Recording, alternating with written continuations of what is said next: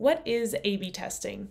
A B testing, in short, is a way to figure out which version of something is the best. So, 10 or 20 years ago, if I wanted to build a website or an application, I would kind of just build it based on my personal preferences, and there was a lot of guesswork involved in what would be the best version of something.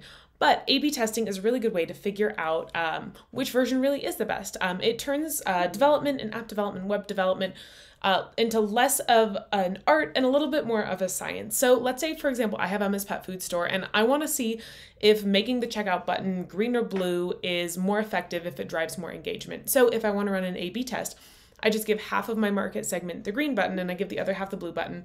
I collect the data and I run a, a, statistical significance test to see which one works better.